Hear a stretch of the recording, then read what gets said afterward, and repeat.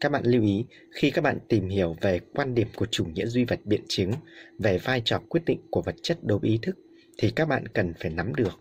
Đó là theo quan điểm của chủ nghĩa duy vật biện chứng, trong mối quan hệ giữa vật chất và ý thức, vật chất là cái có trước, ý thức là cái có sau. Vật chất quyết định ý thức. Bản chất của tồn tại này chính là vật chất. Vật chất chính là tính thứ nhất, còn ý thức là tính thứ hai. Vậy thì vật chất quyết định cái gì của ý thức? Thì các bạn lưu ý, các bạn phải nhớ được bốn nội dung. Thứ nhất, đó là vật chất quyết định nguồn gốc của ý thức. Thứ hai, vật chất quyết định nội dung của ý thức. Thứ ba là vật chất quyết định sự bản chất của ý thức và thứ tư đó là vật chất quyết định sự vận động biến đổi và phát triển của ý thức khi đã nắm được như vậy thì các bạn có thể lấy những ví dụ để phân tích, làm rõ nó.